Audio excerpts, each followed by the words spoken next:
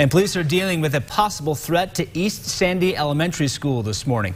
Because of that, extra police will be on hand at East Sandy Elementary and students will be in a shelter in place. Canyons School District sent out messages to parents yesterday warning about the threat. ABC4's Jason Wynn is there. Jason, what does this all mean for parents this morning? Well, we brought in the Canyons School District, Jeff Haney, to talk about this this morning because this is a rather important issue that you guys are dealing with. Tell us about the shelter in place and why you put it there today. Right. You know, we haven't enacted the safety precautions at East Sandy Elementary this morning because of a message that we had received over the weekend. And the message could be construed as a threat. And we immediately forwarded that message on to our uh, to the police department, and they are doing an investigation. So this morning, East Sandy Elementary School will be in shelter in place status. And what that means is all of the perimeter doors will be locked, and anyone who is granted access will be granted on a one by one basis through the front doors. And we're doing so because the safety of students is our number one priority. And while police are investigating, we will have these security measures in place. Do you know where the threat may have came from or, you know, why it was towards the school? Right. So police are investigating where the message came from. But I can tell you it came in the form of an email. And it was uh, directly to an employee who is. Um, who is, you know, here at the school every single day.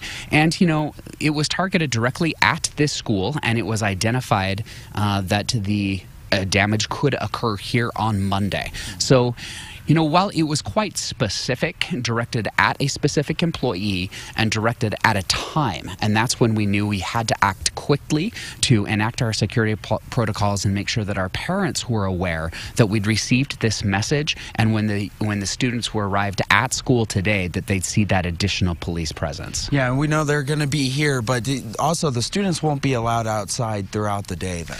Correct. Uh, during the shelter-in-place status is when the children and the teachers teachers and all of their staff remain safe inside the school. And so for recesses and for lunch breaks, they'll be inside the school. Now, learning will go on as usual throughout the day inside the school. It's just that outside of the school, no one will be allowed on the playground and no one will be allowed inside the building unless they go through the front doors and granted access by the people who are at the front doors. Jeff, what happens if a parent is watching this? They receive the email over the weekend, but they're still unsure if they're going to send their child to school or not? Or are they okay to leave their kids at home and, and call in and tell the school about that? That's a good question. I'm glad that you asked. That was one of the reasons we alerted the parents last night through a robocall and through an email. You know, police are investigating this message, and we can't tell them right now whether or not it's credible because the investigation just started.